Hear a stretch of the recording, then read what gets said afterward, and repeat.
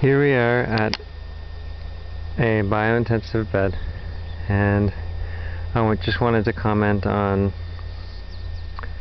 one of the elements of biointensive growing which is close plant spacing. So you can see we're about a month after the last frost and uh, here we have a section of lettuce and then there's peas right beside it.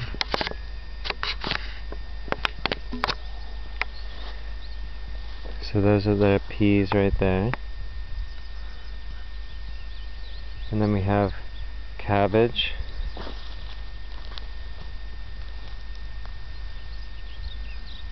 Two more cabbages right there. And then the broccoli.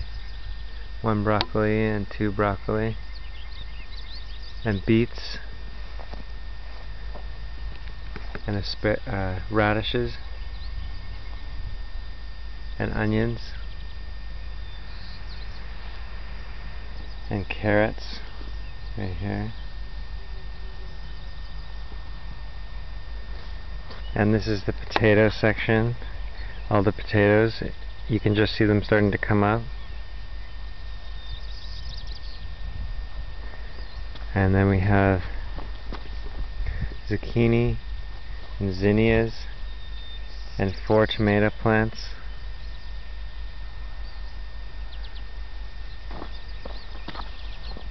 And peppers and basil and two pumpkins right there. So you can see it's all planted very closely together. The close plant spacing